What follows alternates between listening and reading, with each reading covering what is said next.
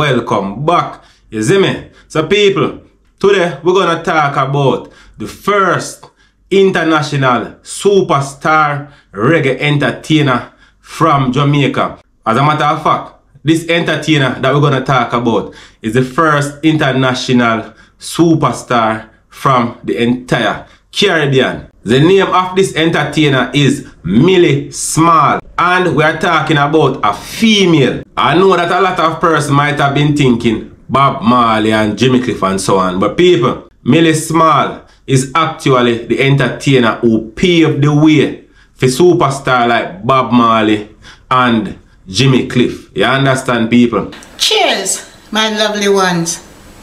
I hope you will have a very happy new year and I hope you all get rich quick.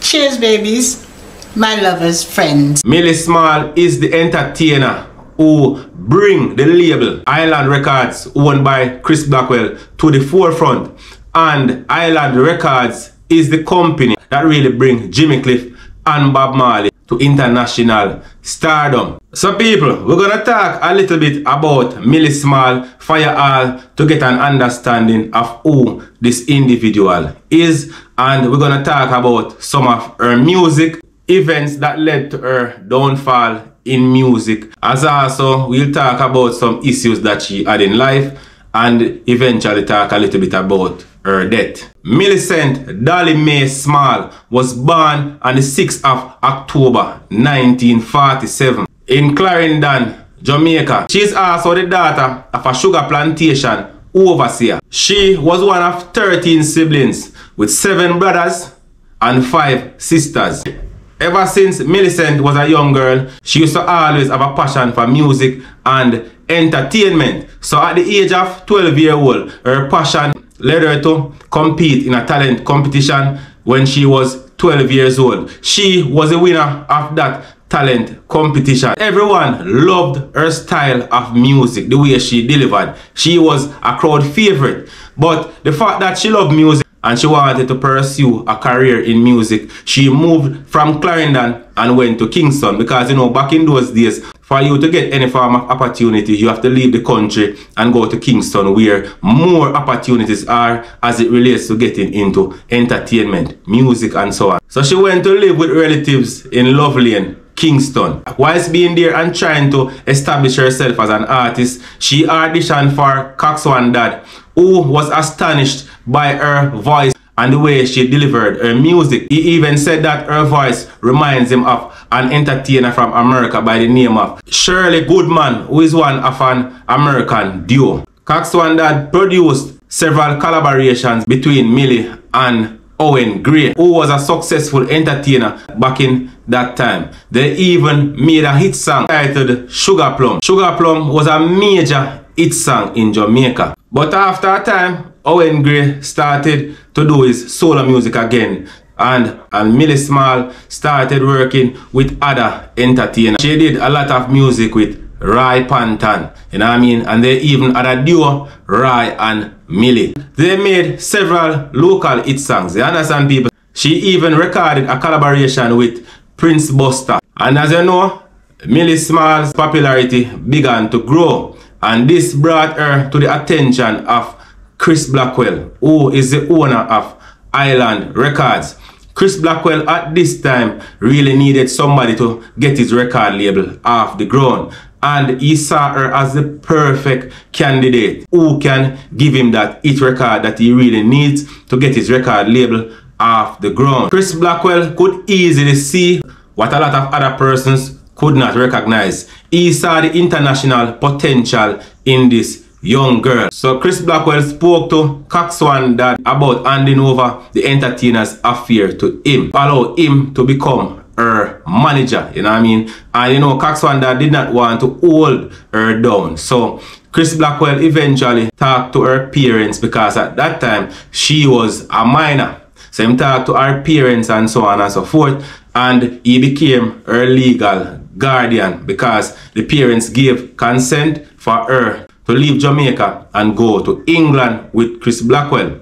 Whilst in England, she received intensive training and she also did a lot of schooling. So people, in late 1963, she recorded her first single in London, England. A song titled Don't You Know. But that song did not make much impact. You understand people? So she had to go back to the drawing board again with her team. And you know, Chris Blackwell was still convinced that this is the person to give him that big hit song that he wants to take his record label to the next level. So you know, Chris Blackwell never give up on her because him see what she have in her.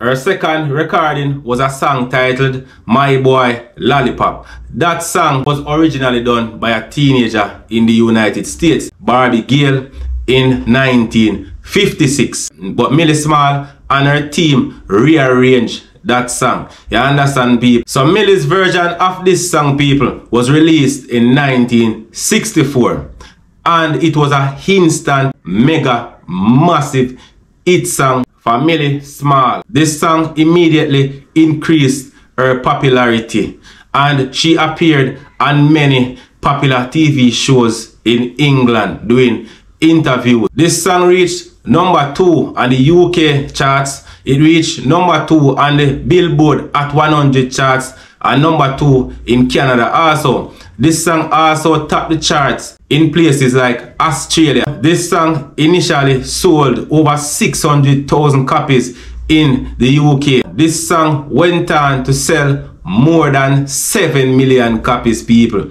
making Millie Small very very popular and famous worldwide. The first reggae entertainer from Jamaica to ever have made that kind of impact in music and people. Millie Smalls was just 17 years of age. A very, very young lady. And that is the song that put reggae music on the map and paved the way for the other greats that came after her. So you know we have to give credit to who paved the way people, we also have to give credit to Chris Blackwell. Even though the song was not released under Island Records, at that time Chris Blackwell did not have enough resource to push the music the way he wanted it and he did not want to hold on the song. Chris Blackwell allowed another producer to produce the song who could push it to the extent where it reached. And that record label is Fontana Record Label. So people, this 17 year old number 3 ranked entertainer in the world at that time was touring the entire Britain and she was appearing on a lot of TV shows. She eventually collapsed from exhaustion and food poisoning at one of her appearances. And during that same time, she was also involved in a horrific traffic accident. And I mean, where she was hurt. So on the heels of her success with Lollipop, she released another song titled Sweet William. But this song was not nearly as half as popular as her other hit song, even though it went on the charts. But it did not matter to her much because she was so much of a big celebrity now and people wanted to see her all over the world. So she was touring America, she was touring Canada, she was touring all over the world and then I mean making a little money here and there. She also recorded a few albums which performed relatively average. And I mean people, she even did a collaboration with then very young Jimmy Cliff who was just coming in the business. So she never really find another song as big as Lollipop. But that song was big enough to have her touring the entire world, which she did extensively. In 1968, her contract with Island Records came to an end after she had released two albums under that label. But as a result of this extensive tours and being all over the world, you know her popularity started to dwindle a bit in Britain. But in 1969, she got back a little bit of popularity when reggae music started to get popular in the UK in 1969. At that time, she released a song titled My Love and I, which got a little bit of traction. Millie Small signed a deal with President Records. But after a short time with that label, she eventually ended her career as a recording artist. However, she continued to tour the world and also perform in Jamaica. Remember the people, our song done big already. She don't have the status there. So she continued to tour, but she stopped record music. In 1974, she decided that she's gonna move to live in Singapore, where she resided for about two years before she returned to Britain in 1973. After that time, she started to stay out of the public eyes. She was not doing interviews, she was not doing shows, she was not allowing anyone access to her. Even when her song was reissued to mark Island Records 25th anniversary, she still stayed out of the public, though her song charted on the billboard. Now we're gonna talk about a very sad chapter in Millie Small's career. In 1987, during a rare interview with a TV station, it was revealed that she was in destitution. Yes, people, it was revealed that she got broke. And remember, you know, people, at this point, she was living in England. You get me? I say, yeah, man, she was broke. It is even said that she and her daughter was living in a hostel, meaning that she was basically a homeless person. And we are talking about the first international superstar from Jamaica that sing big hit song was ranked number three in the who handled the business aspect of the music and they used to cheat the artists out of their fair share of royalties from there's no way such a big superstar should have to resort to living in a hostel. You understand me, I say people? So you know, say, she was being cheated of end up being the rich ones. And I know people, one of the reason I believe that Millie Small stayed out of the public was because maybe the condition that she was living in, she was not comfortable with what was happening in her life. However, in November 1987, she made a rare public appeal. 2006, it was said that she would be recording new music because she spent years writing music, doing paintings and raising her daughter, you know, being a proper mother. It is said that when Chris Blackwell found out that she was homeless and in destitution, he purchased a home for her in England and also ensured that she started receiving a certain percentage of royalties for the usage of her music.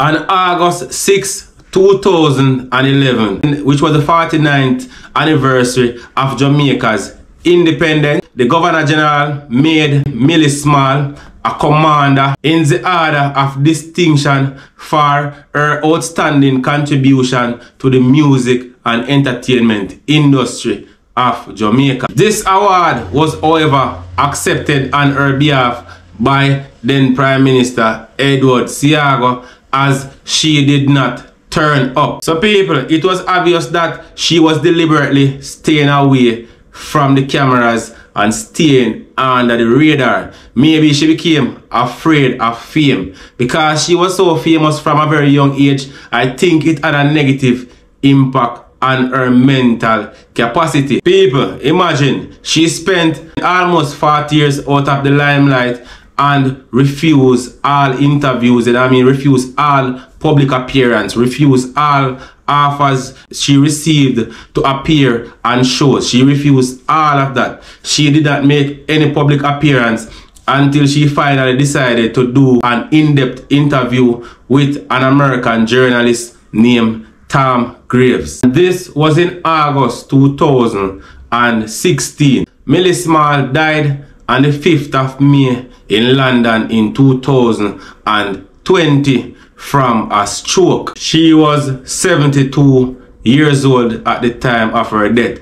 Her death was announced by Chris Blackwell, who is the owner of Island Record. Blackwell also stated that the last time he saw her was 12 years ago. So obviously, Millie Small was staying out of the media and staying out of everybody's way. You know what I mean? I guess she just wanted to be by herself and raise her daughter as a normal person. She was no longer interested in the fame or being famous or to be out there in the public's eyes. So people, my opinion on Millie Small's musical journey is that you know Millie Small was a young girl who had a passion for music and had a God-given talent to perform music and to express herself.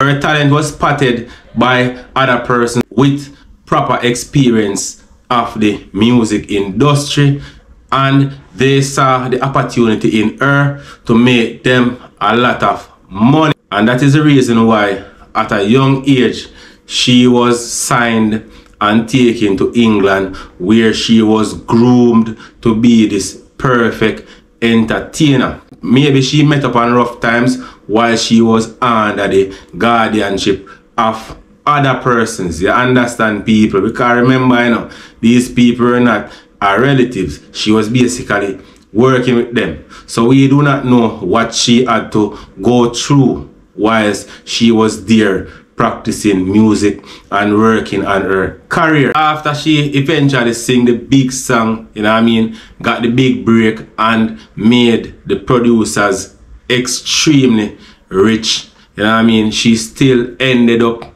being homeless and living in destitution without money. You understand people? I'm just saying this to say a lot of entertainers were cheated out of their fair share of royalties back then because person take you up and them say them take care of you, you know what I mean? They make you sign certain documentation and you don't realize we are signed because of them give you food, shelter, transportation and so on and so forth. So you think that they are looking out for your best interest but a lot of times they are looking out for themselves. You understand people? However, Millie Small will forever be a legend of reggae music in Jamaica. Her talent did not go unnoticed by the Jamaican authority as they gave her the honor that she deserved. However, I think that she is a person that should be talked about more whenever we're talking about Jamaican musical history. You understand people? Because a lot of persons only talk about Bob Marley and Bob Marley. But what about the person who made it possible for Bob Marley and Jimmy Cliff and so on and so forth? Remember, you know, Chris Blackwell is the one who took those individuals to the next level. And remember, you know, this is the person we are talking about who gave Chris Blackwell that big break that he wanted. You understand people? So she boss Chris Blackwell. Chris Blackwell saw the potential in her and him groom her. Her raw talent made Chris Blackwell who he is now. You understand people? Chris Blackwell bring a lot of other artists to the forefront. So Millie Small is the one who paved the way for Jamaican entertainers go international because she is the first one to go international from the Caribbean. Remember at one point in the people, she was the number three artist in the whole world. You see me? And me can bet say, a lot of the young artists them nowadays do not know who name so. They might know the song because they hear to play already, but them don't know who name so, and them never take the time out to check and see who this individual is and to check out our story. Anyway people, thanks for watching. Can like, subscribe, share. Peace.